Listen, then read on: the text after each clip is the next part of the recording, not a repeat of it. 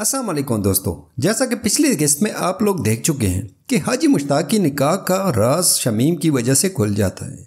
आज की इस केस में सब इस बात पर सोच रहे होते हैं कि अब चूँकि हाजी मुश्ताक बड़े और सब अबा जी अबा जी बुलाते हैं अब्बर बीना को किस नाम से पुकारे? क्योंकि उसके नाम के साथ आपी चाची कुछ लग भी नहीं सकता। गफ़ार उसको किशमिश बोलता था, लेकिन अब तो एक लिहाज से उसकी सास हुई। शादी की तैयारी शुरू हो गई और शमीम को भी बुलाया जाता है। हाजी मुश्ताक दुल्हा बनने को राज़ी ही नहीं है। शमीम के बुलाने पर झगड़ा होता है और मुश्ताक कहते हैं, उससे कोई इशू नहीं, क्योंकि मैं खुद उसके लिए दो रिश्ते लाया था। यूँ शमीम को इनवाइट कर ली लेते हैं। बारबीना को हाजी मुश्ताक के माँ का बनाया हुआ दुल्हन का लिबास दिया जाता है, क्योंकि उनकी यही ख्वाहिश थी कि हाजी मुश्ताक की बीवी यही पहन ले।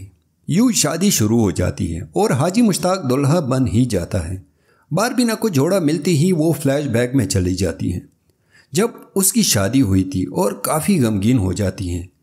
छोटा भाई अब भी नाराज़ हैं, क्योंकि उनके मुताबिक हाजी मुश्ताक को यह सब पहले बताना चाहिए था, क्योंकि काफ़ी गलत फहमियाँ वजूद में आ चुकी होती है और गफ़ार तो बिल्कुल बरबीना के लिए पागल हुआ होता है। हाजी कहते हैं, झूठ तो नहीं बोला था। हाँ सारी बात नहीं बताई थी, क्योंकि वो बात मैंने अपने आप से भी छुपाई थी।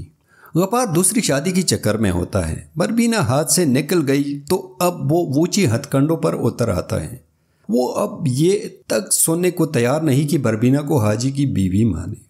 आयशा बरबीना को तैयार करती हैं और हाजी से पूछते हैं कि कैसे लग रही हैं। हाजी तो पहले से ही आशिक हुआ था तो वो माशाल्लाह बोलता है।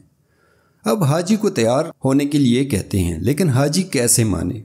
हाजी बरबीना से कहता है, बहुत मुश्किल लगता होगा। दोबारा दुल्हन बनते हुए। मुश्ताक कह रहा होता है, समझ नहीं आ रही क्या करूँ, क्योंकि बहुत मजबूर हो गया हूँ।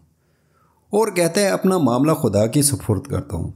बरबीना कहती है, तैयार हो जाओ, मैं लिबास निकाल कर लाती हूँ। हाजी ज़्यादा उम्र की वजह से काफ़ी वर्षा होता है।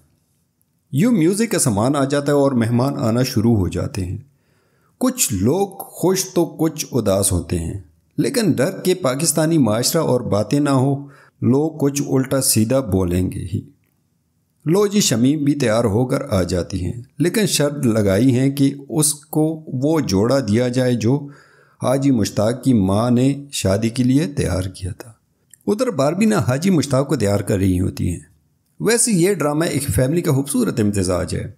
प्यार, मोहब्बत, झगड़े, खुशियाँ साथ साथ चल रहे होते हैं।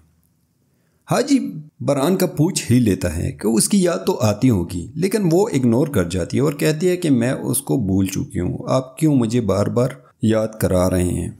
बारबीना और मुश्ताक दोनों ही किसी न किसी मुश्किल में मुबतला ही हैं। बारबीना कहती है कि आपके पैर पड़ गई थी क्योंकि तुमने मुझे इज़्ज़त दी थी और आज मैं हाथ पकड़कर आपकी इज़्ज़त रखूँगी। यूँ खवतिन जमा हो जाती हैं अमान। शमीम बेचारी के लिए भी ये सब बहुत मुश्किल होता है और यूँ वो अकेली एक जगह छुप के बैठ जाती है। लेकिन उसका शुक्रिया अदा करते हैं कि उसी की वजह से शादी और खुशी मिली है। लेकिन साथ ही मुश्ताक की बहन ताने देना शुरू हो जाती हैं। कहाँ तना अल अमान? और दुल्हा दुल्हन आ जाते हैं। हाजी काफ़ी घबराया होता है। काफ़ी लोग खुश तो काफ़ी, इस सब की वजह से गमजदा होते हैं। कुछ लोग हैरत से देख रहे हैं। बारबीन अभी फ्लैश बैक में अफ़गानिस्तान पहुँच जाती जब वो चुपके बहरान से मिलती हैं। बहरान कहता है, पहली रात बीवी को ना डराया तो सारी ज़िंदगी वो डरेगी नहीं। तो बारबीना कहती है सबको बता दूँगी। बहरान ने मुझ मुझ पर हाथ उठाया था। उधर हाजी को दूसरों की फ़िक्र का रही होती है। गफ़ार ने आखिरकार दूसरी शादी का तय कर ही लिया। गफ़ार की हर बात जो मानी होते हैं। यानी वो बीवी और मशीनी को एक जैसा समझ रहा होता है। लेकिन काफ़ी बेशरम है। जो हाजी के सामने कहता है बारबीना पे दिल आया था। और वो बदतमीज़ी पर उतर आता है।